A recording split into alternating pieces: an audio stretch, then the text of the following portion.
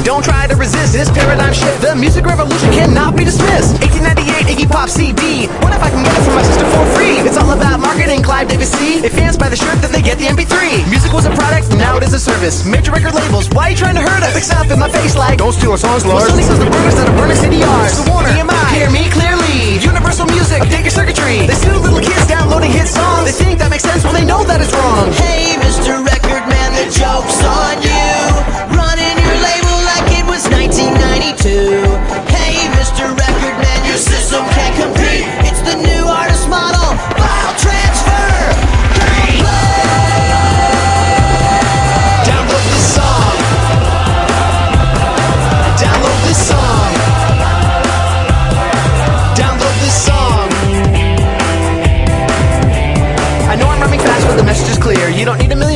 Launch a career. If your style is unique and you practice what you preach, Minor Threat and jello, but the things to teach. I've got G5 production, concept videos, touring with a laptop, rocking pack shows. The old school major deal, it makes no sense. Indentured servitude, the costs are too immense. The fingers in the dam, but the crack keeps on growing. Can't stop all the water when it's freely flowing. Records and slipping down 8%. Increase download sales, you can't prevent. Satellite radio and video games change the terrain, it will never be the same. Did you know in 10 years labels won't exist?